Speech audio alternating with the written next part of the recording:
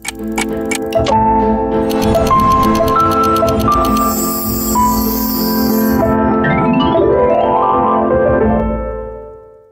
điểm đó 15 tuổi mà em vẫn chưa có giấy chứng minh giấy tờ tùy thân trong người. Dạ. Yeah.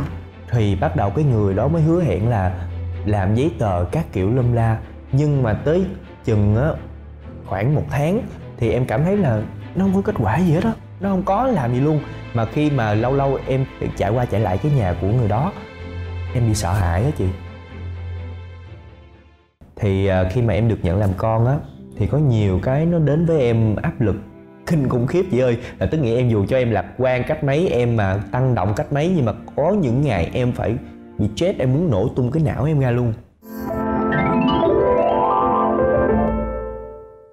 Chào mừng quý vị khán giả đã quay trở lại với Ai Cũng Có Chuyện. Quý vị khán giả thân mến, mỗi một tuần trôi qua thì chúng ta lại đón nhận ở đây thêm một câu chuyện nữa. Và không biết là câu chuyện của tuần rồi thì mọi người đã có thể gói ghém cảm xúc của mình lại hay chưa?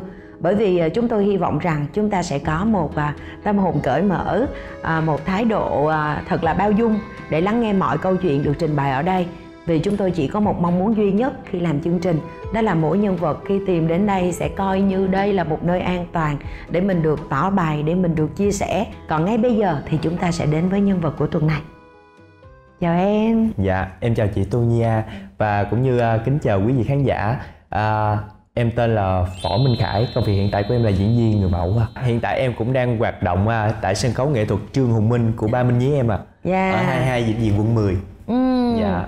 À, đây là một cái sân khấu mà chị biết là có rất là nhiều bạn trẻ yeah. đang theo đuổi làm nghề. Rồi vậy thì bây giờ quay trở lại với không gian ở đây. Chị vẫn hay hỏi khách mời của mình một cái câu khi mở đầu câu chuyện á yeah. là nếu như buộc phải đặt một cái tựa đề nếu như buộc phải dùng một cái từ khóa khái quát lại cái câu chuyện mà các bạn muốn chia sẻ ngày hôm nay thì nó sẽ có nội dung gì thì với minh khải nó cũng sẽ là như vậy thôi À sao ta? Em không biết được Ví dụ như cuộc đời của em em cảm thấy nó nhiều cái thú vị lắm. Bảy nổi ba chìm quá hả Dạ đúng là nhiều cái thú vị lắm. Nhưng mà Mai là bản thân em là một đứa rất là uh, Rất là đi theo cái hướng mà tích cực, lạc quan Chứ không ừ. phải là hướng xấu.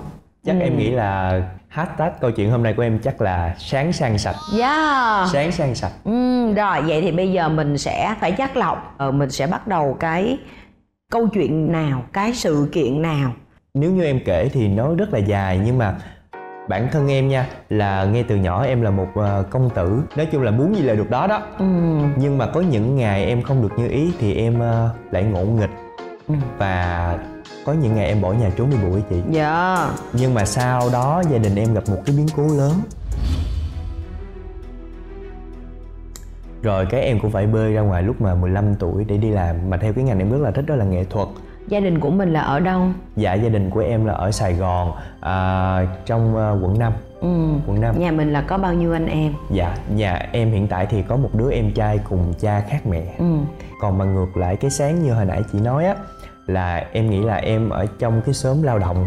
Ừ. thì sáng nói chung là sáng tối là sẽ có những ôm sùm tiếng chửi rủa đồ của những người trong xóm mà em lại không bị ảnh hưởng gì hết ừ. à. tính ra là mình cũng miễn nhiễm dạ đúng rồi em bị miễn nhiễm hẳn luôn á là tức nghĩa là dù hồi xưa 12 tuổi mà bạn em rủ em hút thuốc nha ừ. hoặc là rủ những cái gì mà nó thích cái em không là không em nhất quyết không là không tại vì ngay từ nhỏ em đã có ý thức một điều là cái đó là không tốt và em hướng trong tương lai của em là sẽ là một con người văn minh và lịch sự chứ em không hướng đến những cái điều đó vậy thì trong gia đình của mình mọi người uh, hướng dẫn mình mọi người dành cho mình một cái kiểu nuôi dạy như thế nào? Em nói thì chị Tư Nhi A là không có hướng dẫn gì em hết á. Ừ, là cũng lớn là... lên như cây cỏ vậy đó. Dạ đúng rồi là tức nghĩa là gia đình em à, lúc bà nội em còn sống á thì bà nội cũng luôn dạy em là kiểu nhân lễ nghĩa. Nhưng mà còn về những cái phần khác á, là gia đình em cũng ờ, cứ để em xuôi theo và có những ngày à, em cũng hơi chạnh lòng nhưng mà nó cũng em là một người tích cực cho nên đối với em cũng không sao. Bây giờ mình tự hiểu là mình đã tích cực nhưng hỏi thật lúc đó có khi nào em bị mọi người hờn trách là trời sao thằng này nó vô tri dữ vậy? Nó nó không có quan tâm gì hết có không? Dạ em là một cái con người nó khá là mâu thuẫn. Ờ. là tất nghĩa mọi người thấy em là vô tri tăng động đúng không? Nhưng em lại là một người rất là sống tình cảm. Và chỉ cần mà ai có tình cảm với em một có thể là em sống tình cảm tới 10 luôn. Em có nghĩ đó là một dạng gắn bó phụ thuộc không? Dạ đôi lúc em cũng nghĩ là ừ mình nhận về tổn thương quá nhưng mà em em nghĩ một điều gì nè cuộc đời chỉ có một lần thôi ừ. mình sống làm sao mà để không hổ thẹn với lòng là được rồi thế thì 15 tuổi mình bước ra ngoài và mình đi theo một cái con đường mà gia đình không ai theo thì cái hành động đó của em tại thời điểm đó có được gia đình định nghĩa là nó lại chọn cái gì mà theo ý nó thôi có không dạ không gia đình em cũng rất là thích luôn ừ. là tức nghĩa thấy em vui là được nhưng mà thời điểm đó chỉ biết ừ. em theo nghệ thuật ở tại một sân khấu khác hoạt động sân khấu khác ừ. mà em làm những cái công việc rất là nhỏ như lau dọn vệ sinh yeah. Dạ. shop vé phát tờ rơi rồi diễn quần chúng hai suất mới được 50 ngàn gần như giống như cái lộ trình của nhiều ngôi sao lớn mà khi nghe kể lại dạ. thì đều phải qua hết những cái bước đó mà cái đó là thiệt luôn nhiều thời điểm đó tới chừng á khi mà em làm đến nỗi mà em ốm yếu quá cái đầu cha mới là người thấy và cha mới là người cấm em đi sớm về khuya mà mà sao không thấy gì hết trơn trọi đúng rồi mà không thấy gia diễn gì luôn. Mà chỉ toàn là xót vé rồi uh, hốt gác rồi ừ. tiền nọ thôi. Tại vì thời điểm đó gia đình em gặp biến cố. Nói chung là em muốn làm để có một cái gọi là nhưng mà có lương không? Không có lương chị ơi phi vậy là bị cấm cũng đúng á. Dạ. Tại vì phụ huynh sẽ uh, hình dung là thôi bây giờ không có danh cũng được. Nhưng mà coi như mình làm thì mình cũng phải được trả công. Nhưng mà ba cấm rồi sao? Rồi cha em cấm thì uh, nói chung là lúc đó em cũng nặng nặc cả cha lắm chị. Tại vì em muốn theo nghệ thuật thì giống như mình không có một cái gì hết giờ tiền cũng không. Mà em còn nhớ nữa là thời điểm đó là em có chơi một cái game show để được anh đại nghĩa tặng em chiếc xe đạp. Mà lúc đó là chiếc chơi một cái game show vườn ơi mở cửa ra chị. Ừ. mà em không lấy được quà. Thì bắt đầu anh đại nghĩa mới mua cho em chiếc xe đạp. Chiếc xe đạp mà leo núi á. Rồi sao rồi? Em làm gì với cái xe đạp đó? Đi dạ, làm. đúng rồi đó. Em đi làm là từ quận 5 đến quận 11 để em làm việc mỗi ngày mỗi ngày mỗi sáng mỗi tối. Thế thì uh, lúc đó em có chạnh lòng không? Ba sót là không trách ba được tại vì con mình. Và thêm nữa xin đi làm cái nghề gì tao không hiểu mà không có một cái lợi tức gì hết trơn. Mà chỉ biết con nít mà kiểu nổ nổ nữa chị. À. trời ơi cha ơi cha yên tâm đi sắp rồi tháng sau con có một gia diễn nè. Nhưng mà thật sự diễn quần chúng hai suất mới được 50 ngàn ờ mình được thấy mình được diễn trên sân khấu là được rồi. Mình thấy được hà, hào quang ánh sáng khi mình đứng trên đó mặc dù diễn quần chúng nhưng mà thôi mình diễn vài giây rồi ra được ví dụ sáu cảnh ra được hai cảnh chọt ra chọt vô nhưng mà thấy vui. Rồi thêm một cái là thời điểm đó em làm chung với một số anh chị rất là thương em nữa. À, còn nỗi buồn là em nhận về tổn thương là có những cái không đúng về mình ở tại sân khấu đó. Rồi em bị giống như một hai người mà kiểu giống như là người ta hay nói là định thần á chị. Ừ. cái chọt em chọt tới chọt lui mà lúc đó em chỉ là một thằng nhóc mới 15 tuổi. Đó. Rồi thế thì cái cột mốc kế tiếp sau đó để mình thấy là mọi chuyện nó nó thay đổi và nó tạo ra một con người mới của mình như bây giờ là sự kiện như thế nào? Dạ thực ra sau đó còn một sự kiện nữa là em rời đi tới sân khấu đó. Ừ. thì em lại à, gặp một người và nó nôm na như là không tốt đó chị ý là chiêu dụ những cái ngọt những cái mà lời ông bướm á chị. Ừ. mà em thì mới lớn nữa thời điểm đó chị biết ông gia đình em làm giấy tờ rất là khó khăn. Thời điểm đó 15 tuổi mà em vẫn chưa có giấy chứng minh giấy tờ tùy thân trong người. Yeah. thì bắt đầu cái người đó mới hứa hẹn là làm giấy tờ các kiểu lâm la. Nhưng mà tới chừng á khoảng một tháng thì em cảm thấy là nó không có kết quả gì hết á. Nó không có làm gì luôn. Mà khi mà lâu lâu em chạy qua chạy lại cái nhà của người đó em bị sợ hãi á chị. Vì sao? Giống như cái nhà của người đó giống như người lớn hay nói từ thô nhưng mà thật. Giống như là một cái uh, động. Cái tụ điểm một nhiều tệ nạn. Đó một cái tụ điểm nhưng mà không phải là hút chích hay gì hết. Ừ. nhưng mà cứ thay đổi liên tục. Ừ. thay đổi người mới liên tục và em cảm thấy thôi chết không được. Nếu như mình vậy rồi một lúc nào mình cũng sẽ rơi vào những cái đó ừ. và mình không muốn bắt đầu là em cũng lặng lặng rời đi rời đi rời đi rồi tới một ngày nọ bước ngoặt cuộc đời mới của em được mở ra nữa là em ờ, đi quay quần chúng thì em gặp được anh diễn viên Hà Chí Quang ừ. em rất là biết ơn anh Hà Chí Quang tại vì anh Hà Chí Quang thời điểm đó bảo là em có kể những cái tâm sự của em như vậy đó thì anh Hà Chí Quang nói không được bây giờ mặt em sáng lắm ừ. thì em cũng em anh thấy em cũng rất là có tài năng tiềm năng thì thôi em phải theo học chính quy đàng hoàng. Thì bây giờ là anh cho em có hai sự lựa chọn. Một là anh có một người à, cô có sân khấu. Thì nếu như em khó khăn quá anh sẽ tài trợ em học bổng ừ. để học cho đàng hoàng cho tới nơi tới chốn. Còn hai là em theo thầy minh nhí. Ừ. mà thầy Minh Nhí anh cũng biết được là thầy Minh Nhí đang cần một cái bạn mà đi theo hỗ trợ giúp đỡ bưng trà rót nước. Rồi mỗi tháng lãnh lương cũng được. Ừ. rồi ví dụ em theo thầy á rồi em học được những gì học tại vì thầy Minh Nhí cũng rất là tốt. Xong anh nói, xong bắt đầu anh tự nói luôn. Thôi mà thôi đi, em theo thầy Minh Nhí đi. Tại vì thầy Minh Nhí là một người tốt, rất là mát tay trong ngành nghệ thuật. Thì có một cuộc hẹn để gặp. Thì cha em là người không biết nói chuyện. Cho nên cha em mới nhờ chú em dẫn em đi, mà chỉ biết cũng thử thách em nữa. Là tức nghĩ cái ngày em đi là cái ngày xe máy ở trong nhà toàn bộ bị hư hết có hai chiếc xe nhưng mà ờ. nó không lên nó không nẹt bô lên được. Ừ. thì bắt đầu lấy xe đạp điện của một người em em gái họ của em. Để đi. Để đi. Mà đang đi giữa đường là từ quận 5 à, em còn nhớ là lên uh, Super Bowl sân khấu kịch cô Hồng Vân sân khấu cũ của Hồng Vân ừ. ở tại đó. Thì đang đi được uh, giữa đường tới quận 8 hết thì... điện. hết điện. Nghi lắm mà. Cái bắt đầu uh, chú em phải nói chung là đạp đạp rồi em cũng phải đẩy hai cái chân đẩy tới đẩy lui đẩy lui vậy nè. Ừ. mà lúc đó em sợ mất cơ hội được gặp thầy minh nhí. Tới nơi á thì trễ hết 30 phút so với lúc hẹn. Ừ. thì lúc đó em cũng quýnh quán mà trời mưa nữa trời sắp mưa nữa. Cái em chạy lên gặp thì vừa đúng lúc em vừa chạy lên thì thầy minh nhí đang trên bậc thang đi xuống luôn. À, dạ thầy dạ thầy con con khải của anh hà chí quang à, giới thiệu. Lúc đó thầy minh nhí sao lâu với con? Nãy giờ thầy chờ. À dạ con xin lỗi tại vì con con con đi xe đạp điện á thì bắt đầu chú em mới lên từ từ lên từ từ. Bắt đầu vô ngồi nói chuyện đàng hoàng. Thì à, thầy minh nhí lúc đó cũng không muốn nhận em. Tại vì thầy minh nhí bảo là nó còn nhỏ quá ừ. mà không có giấy tờ. Ừ. thì cũng đúng em cũng hiểu tâm tâm lý của ba là em em còn nhớ là chú em lấy một cái giấy uh, giấy photo nhà của chú em để làm tin là nếu như anh không tin anh có thể uh, địa chỉ nhà em luôn nè. Hồi xưa giờ em ở đây mười mấy hai năm ai cũng biết hết. Thì ba thầy minh nhí cũng gật đầu gật đầu. Ừ ok. Thôi để coi như là hai ngày nữa đi rồi sắp xếp cho nó đi làm ngày đầu tiên coi như thế nào. Ừ. thì uh, thầy đi tới đâu là em đi tới đó.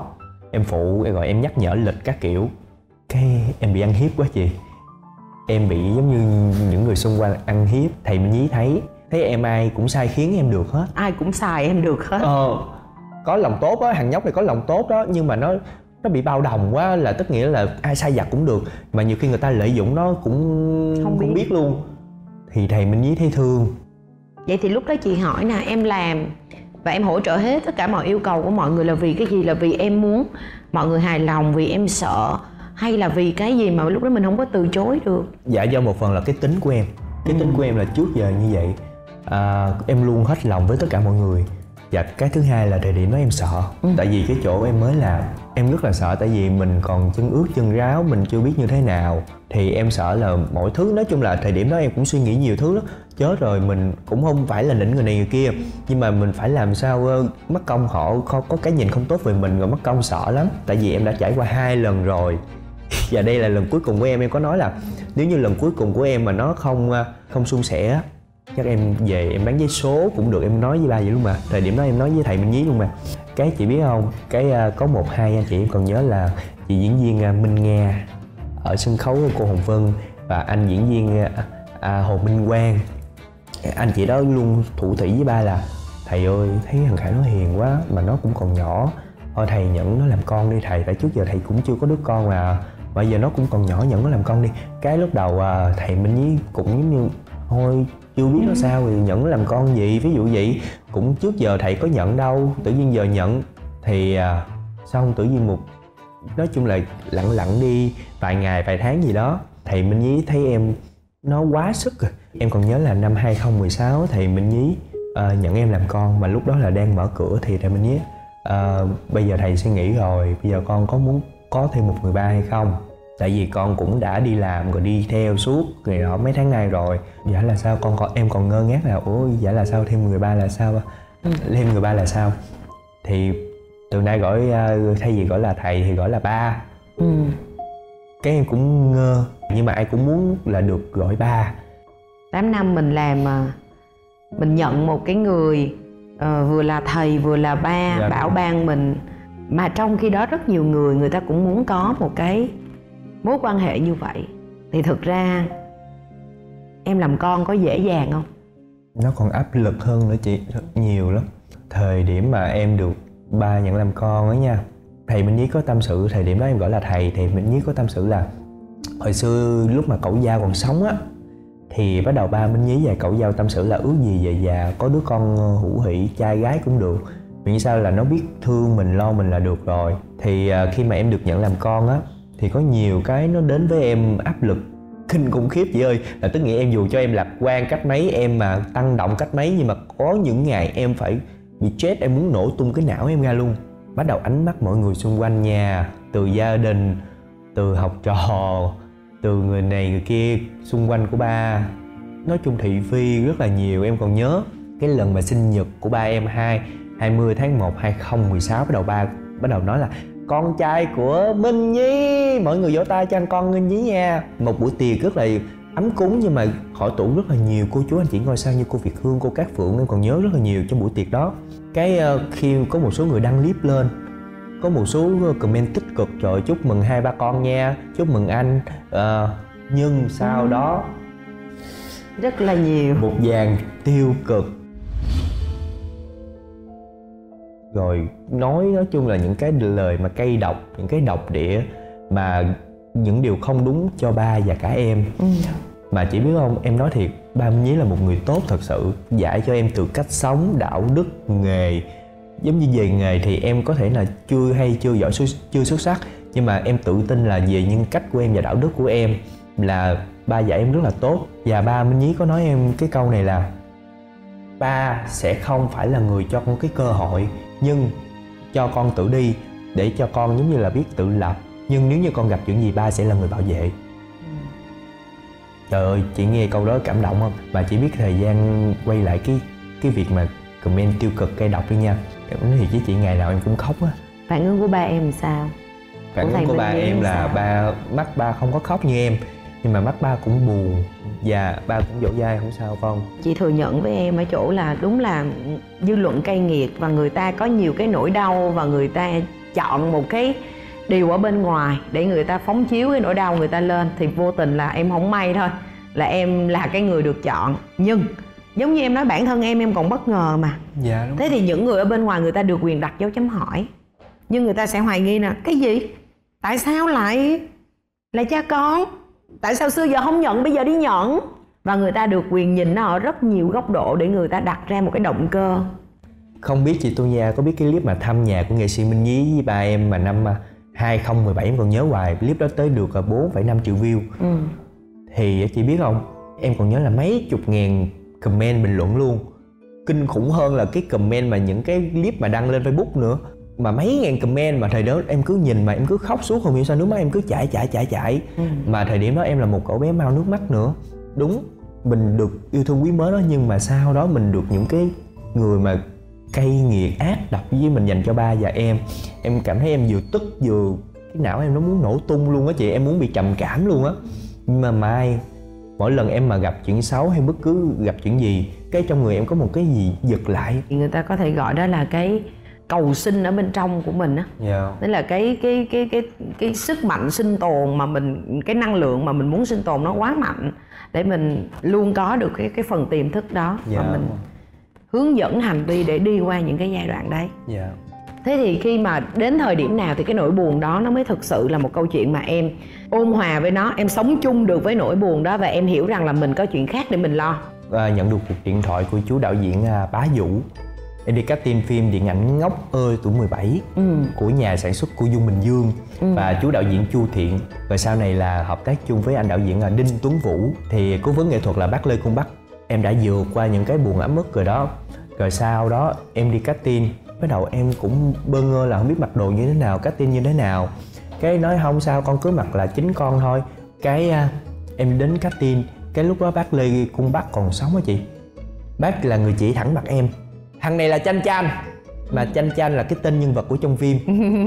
Thằng này chanh chanh cái em cũng ngơ ngác luôn. Cái đầu cô nhà sản xuất cô dung bình dương thì chú chu thiện cũng ngồi họp lại. Thì bắt đầu ờ cũng thấy em hợp nhưng mà sau đó cũng phải cho em một hai vòng cách tin nữa ừ. là tới ba vòng. Mà thời điểm đó là cát chung với lại bốn năm trăm bạn. Ừ. mới vừa học sân khấu được 2 tháng cái tự nhiên nhận lời à, đi casting phim điện ảnh mà cũng gan lắm chị. Chưa biết kinh nghiệm chưa biết như thế nào cái cách cách cách cách cuối cùng chị em được một ngày nọ em nhận được cuộc điện thoại. Con ơi chúc mừng con nha con được đậu phô phai à, chính trời ơi em còn nhớ hoài cái cảm giác và con à, nhỏ nhỏ em gái của em á đi kế bên mà rồi anh khải bình tĩnh anh khải bình tĩnh vui quá chúc mừng anh nhưng mà bình tĩnh bình tĩnh. Tại vì thấy em đụng đầu trên nóc xe rồi. Nhưng mà khi mà cái ngày mình lên hợp đồng á là em dẫn ba theo. Tại vì lúc đó bảo là cần quản lý hay trợ lý gì lên nhưng mà lúc đó em không có quản lý trợ lý kể cả bây giờ em cũng không có quản lý trợ lý. Ừ. nhưng mà về hợp đồng là em luôn dẫn ba theo để giống như ba à, ba như thế nào thấy đúng như thế nào ông ba để cho ba cho ba coi trước rồi ba xem trước. Thì ba ok hết thì bắt đầu là đi đi quay xuyên suốt từ à, 3 giờ sáng cho đến tới à, 11, 12 giờ đêm có khi 1, 2 giờ khuya luôn. Xuyên suốt một tháng trời em đóng cùng với chị à, Trúc Anh nữ chính trong phim luôn. Rồi sau đó em may mắn nữa em đi casting phim Kiều A Còng. Ừ. phim điện ảnh quanh shot của chú đạo diễn đỗ thành an. Thì à, lúc đầu á chú đạo diễn đỗ thành an cũng không muốn chọn em chị.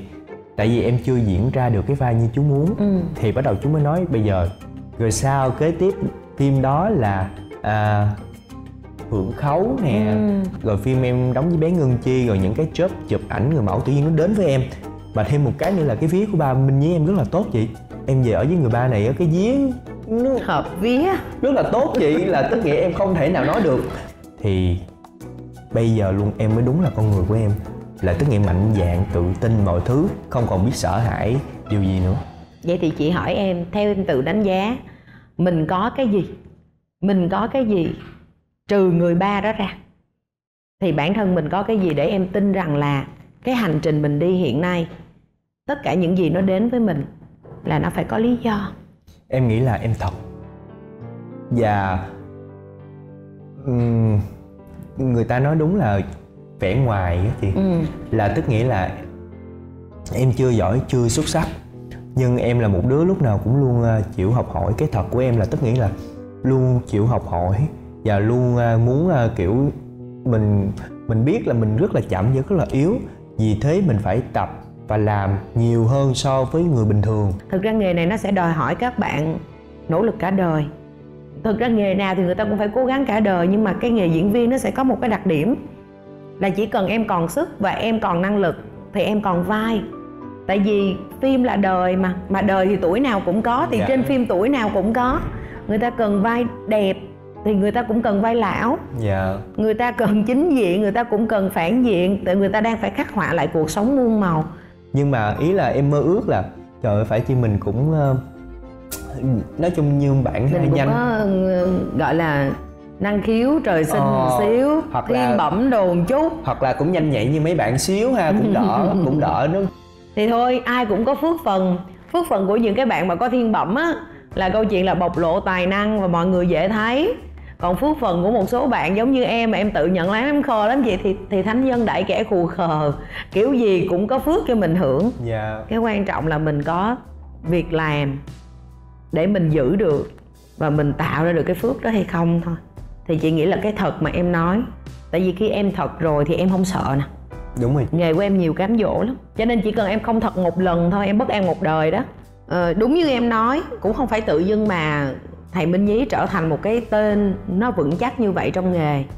Không phải tự dưng mà thầy có nhiều học trò ừ, quý mến thầy như thế. Yeah. vậy thì khi mà thầy mà nhận em làm con và tức là một mối quan hệ nó rất là đặc biệt dạ, yeah. thì em nghĩ em không thật được không? Dạ yeah, đúng rồi. Em nghĩ coi em có thể nói được rằng là bỏ tên người này xóa vai người yeah. kia thì em làm con được không? Dạ yeah, đúng rồi. Thì em nghĩ là ba thương em ba thương em là gì là chị? là ba thấy trời ơi sao con ba thấy không tốt với con mà tại sao con lúc nào cũng luôn muốn luôn muốn kiểu giống như là uh, có học diễn chung hoặc như thế nào? Nó dạ không tại vì con đã từng nói là con sống làm sao để không thiện với lòng là được rồi ba. Còn ai xấu kệ họ con quan tâm. Tại vì con nghĩ là con mở mắt ra con có công việc con có tiền của con con kiếm tiền. Nói chung là được ba yêu thương được ba mọi người yêu thương là con đã vui rồi hạnh phúc rồi. Cho nên là hãy giữ cái điều đó mặc dù nó khó khăn. Nhưng mà vì nó khó cho nên mình mà giữ được thì nó được coi là tài sản rất là đáng giá. Yeah. chị thì với cuộc gặp gỡ ngày hôm nay thì chị chỉ hy vọng một vài điều thôi. Chị cũng chỉ muốn nhắn gửi với em một vài điều thôi. Đó là những cái điều kiện bên ngoài được coi là hỗ trợ thôi. Yeah. tại vì dù cho là ba mẹ ruột thì cái việc họ đồng hành với mình cả cuộc đời mình cũng là điều không thể diễn ra. Cho nên là mọi người ưu ái cho mình thì nó là những điều kiện thuận lợi. Nếu như bản thân mình không có được cái tiềm lực từ bên trong. Mình không phải là một cái cây vững chãi thì người ta không có chống đỡ mình được. Yeah. đó là cái điều đầu tiên. Cái thứ hai với cái nghề của em và với cái đặc thù mà mình đã đến với nghề cái xuất thân của mình thì chị nghĩ là khải nên tập trung vào cái việc là mình đọc nhiều hơn mình mày mò mình gia tăng kiến thức bởi vì điều đó nó sẽ giúp cho em được tự tin là một. Nó giúp cho cái nghề của em được chiều sâu là hai. Thì hãy làm những cái điều đó bằng bằng tất cả cái tình yêu thương mà cái nghề mà mình mình đã dành cho cái nghề mà mình chọn. Nó cũng là một cách để trả ơn nuôi dạy, trả ơn cho ba của em, cho thầy của em. Đó. Vậy thì khi mà em đồng ý, em nhận lời, em ngồi ở đây để kể là một cái hành trình như vậy, thì cái thông điệp mà em muốn gửi đến với mọi người thông qua cái câu chuyện của mình ở ngày hôm nay là cái thông điệp gì? Khi mà em được nhận lời mời này, em cũng rất là vui. Tại vì à, hiếm lắm em mới có một cái buổi như vậy, cũng như là em đã theo dõi chị từ à, trên tiktok. Có những cái clip mà chị tư vấn tâm lý rất là hay. Nó chị lầy lắm. Dạ. Nhưng mà có những clip thì chị cũng khá vui vui nữa dễ thương á. Thì em cũng rất là thích em vừa nói là ủa có chị tôi nhẹ hả? À dạ em nhận liền. Nhưng mà với câu chuyện ngày hôm nay thì mình cũng hy vọng rằng là những chất liệu rất là quý giá đã được bày biện ra rồi. Đó là sự nỗ lực đó là sự chân thành. À, đó là cái việc mà đôi khi bạn sẽ phải chấp nhận những cái cú gọi là bạc tai của cuộc đời một cách rất là vô duyên, vô cớ là không hiểu tại sao tôi phải nhận những cái cơn gió ngược như vậy. Nhưng bạn có vững không? Bạn có tin không? Nếu như cái bạn tin, bạn vững vàng, và bên cạnh bạn là những cái mối quan hệ thực sự, là những mối quan hệ khỏe mạnh, thì chúng ta vẫn có thể đi về phía trước.